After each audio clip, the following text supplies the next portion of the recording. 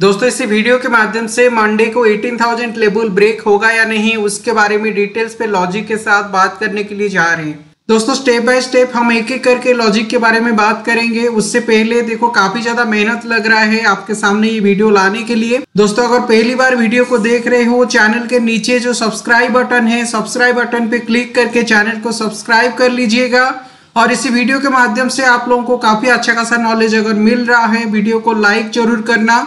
और दोस्तों technical analysis सीखने के लिए वीडियो को पूरा देखिएगा। चलिए step by step technical analysis करके मार्केट का मूवमेंट के बारे में डिटेल्स पे जानते हैं।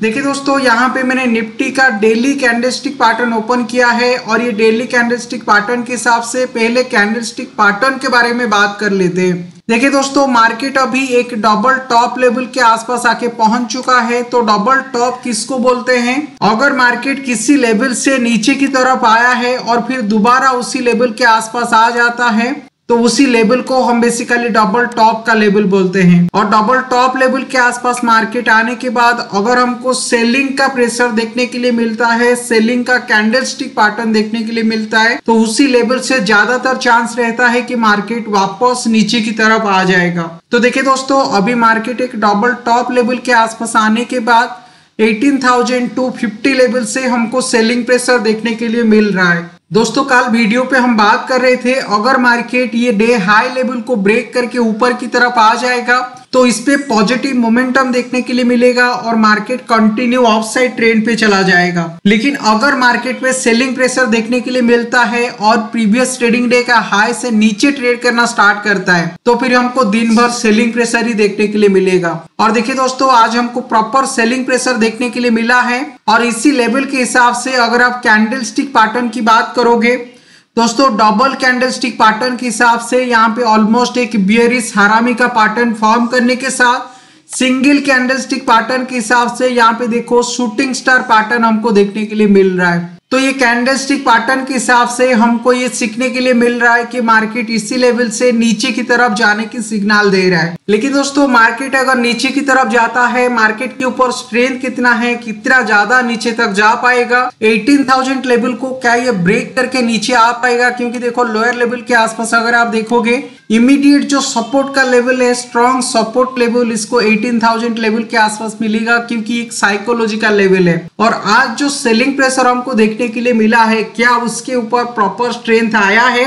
चलिए स्टेप बाय स्टेप डिटेल्स पे जानते हैं। तो दोस्तों स्ट्रेंथ जानने के लिए मैंने यहाँ पे फ्यूचर चार्ट ओपन करने के साथ वॉल्यूम को भी ऐड करके रखा है। दोस्तों मार्केट अगर नीचे की तरफ़ जाता है या ऊपर की तरफ़ जाता है अगर उस पर प्रॉपर स्ट्रेंथ देखने के लिए मिल जाता है तो उसी डिरेक्शन पे और तेज़ी से हमको मूवमेंट देखने के लिए मिल जाता है। और देखिए, ये लेवल के आसपास डबल कैंडलस्टिक पैटर्न पे, यहाँ पे बियरी सारामी पैटर्न फॉर्म करने के साथ जो वॉल्यूम आया है वॉल्यूम काफ़ी अच्छा वॉल्यूम के साथ ये नीचे की तरफ़ आके क्लोजिंग दिया है। तो दोस्तों, सिर्फ़ सेलिंग प्रेशर नहीं आ रहा है, एक रेजिस्टेंस लेवल से डबल टॉप लेवल से मार्केट नीचे आने के साथ उस पर प्रॉपर स्ट्रेंथ के साथ सेलिंग आ रहा है। वो सबसे ज़्यादा इंपॉर्टेंट है। इसीलिए ज़्यादातर सिनारियो यहाँ पे बन रहा है। कल इसी लेवल से मार्केट और ज़्यादा नीचे की तरफ़ मोमेंटम दिखाएगा। दोस्तों, अगर मार्केट नीचे की तरफ़ जाता है, कितना नीचे की तरफ़ जाएगा? तो उसके बारे में डिटेल्स पे जानने के लिए मार्केट का स्ट्रेंथ हमको जानना ज़रूरी है।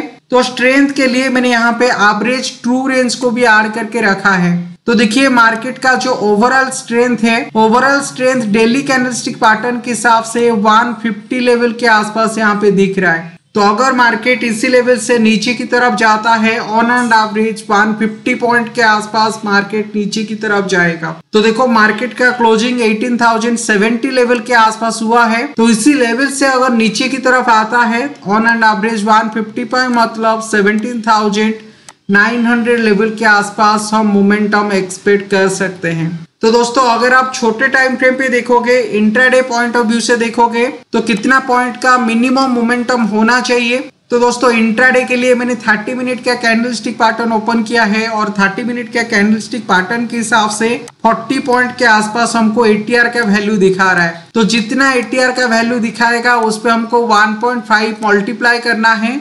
1.5 मल्टीप्लाई करने के बाद वो रिज़ल्ट आ रहा है। तो 1.5 मल्टीप्लाई करने के बाद जो वैल्यू आ रहा है, उस पर जनरली हम डबल टारगेट लेके जा सकते हैं। तो on and average market one one zero point नीचे की तरफ़ आने की सिग्नल दे रहा है। क्योंकि प्रॉपर स्ट्रेंथ के साथ एवरेज स्टूडेंट जो बता रहा है मिनिमम ऑन एंड एवरेज हमको वन वन ज़ीरो पॉइंट के आसपास डाउन साइड डिरेक्शन पे सेलिंग देखने के लिए मिल सकता है। और चलिए दोस्तों मार्केट जिस लेवल के आसपास ट्रेड कर रहा है, वो एक सपोर्ट या रेजिस्टेंस का लेवल है, उसके बारे में और थोड़ा डीपली जान लेते हैं। देखिए दोस्तों, यहाँ पे मैंने फिबोनासी रिट्रेसमेंट लेवल को भी ऐड करके रखा है और फिबोनासी रिट्रेसमेंट लेवल के हिसाब से देखो market clear cut 61.8 percent retracement level के आसपास आके अभी काम कर रहा है। और दोस्तों 61.8 परसेंट रिट्रेसमेंट लेवल को गोल्डन फिबोनासी रेशियो का लेवल भी बोलते हैं। अगर मार्केट नीचे से ऊपर या ऊपर से नीचे की तरफ़ आ रहा है और 61.8 परसेंट रिट्रेसमेंट लेवल के आसपास अगर आके पहुँच जाता है, उसी लेवल से जनरली ट्रेंड चेंज हो जाता है। तो अभी देखिए मार्केट 61.8 परसेंट रिट्रेसमेंट लेवल के आसपास पहुँचने के बाद डेली कैंडलस्टिक पैटर्न के हिसाब से देखो, इसी लेवल के आसपास बार बार हमको रेजिस्टेंस देखने के लिए मिल रहा है। और मार्केट ये लेवल के आसपास आके पहुँचने के बाद, इस पे हमको सेलिंग कैंडलस्टिक पैटर्न देखने के लिए मिल रहा है। इसलिए दोस्तों ज़्यादातर चांस है ये लेवल के आसपास मार्केट पे हमको सेलिंग प्रेशर देखने के लिए मिल जाएगा। क्योंकि हम वेट कर रहे थे अगर मार्केट 18,250 लेवल से ऊपर की तरफ़ सस्टेन कर लेता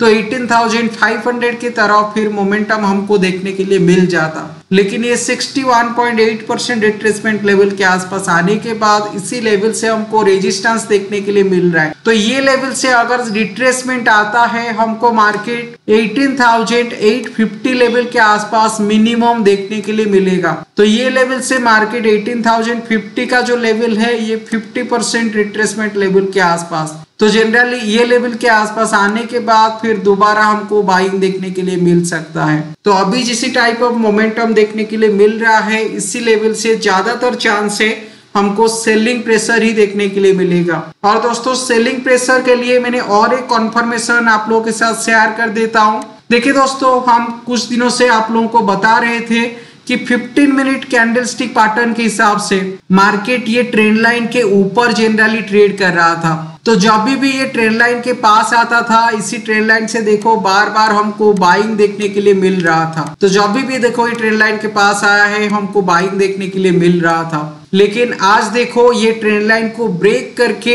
ये नीचे की तरफ़ आके क्लोजिंग दिया है। और ये जिस लेवल के आसपास आके क्लोजिंग दिया है वो एक सपोर्ट का लेवल है 18,050 18,070 लेवल के आसपास। तो ये रेक्टेंगल को ब्रेक करके मार्केट नीचे की तरफ़ आएगा। तो देखो नेक्स्ट जो सपोर्ट का लेवल है ये स्विंग लो के हिसाब से हमको 17,900 लेवल के आसपास देखने के लिए मिल रहा है। तो फिबोनाची रिट्रेसमेंट लेवल के हिसाब से 17,850 तक मूव आ सकता है। लेकिन यहाँ पे देखो जो स्विंग लो है स्विंग लो के हिसाब से ऑन एंड एवरेज 17,900 तक मिनिमम डाउन साइड डिरेक्शन पे मोमेंटम हमको देखने के लिए मिल सकता है। तो दोस्तों ये क्लियर कट सिग्नल बन रहा है मार्केट ऊपर लेवल से नीचे की तरफ़ मोमेंटम दिखाएगा।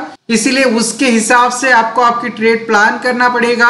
लेकिन ये सेलिंग 18,050 लेवल को ब्रेक करके थ्री मिनट कैंडलस्टिक पैटर्न के हिसाब से अगर दो से तीन कैंडल फॉर्म कर लेता है उसके बाद ही हमको ये सेलिंग प्रेशर देखने के लिए मिल जाएगा।